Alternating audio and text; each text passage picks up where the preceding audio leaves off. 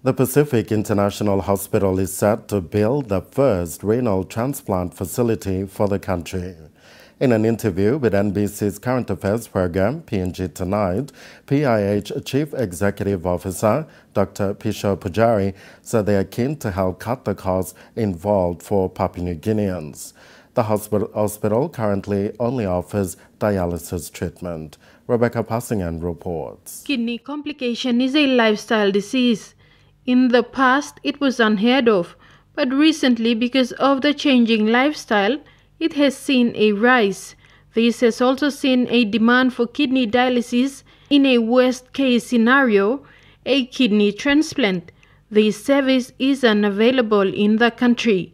Currently, only a few facilities offer kidney dialysis service.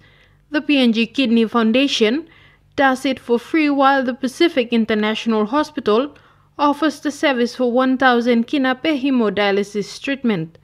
But the hospital is keen to build a kidney transplant facility. It may take some time, but we have a vision to put it, uh, introduce it in the interest of the PNGians.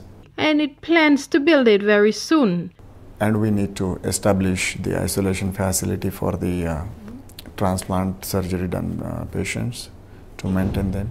So at this moment, we are in touch with some doctors, overseas doctors.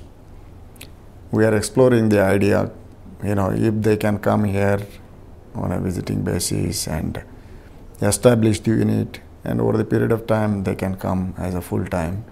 Rebecca Passingan, NBC National News, Port Moresby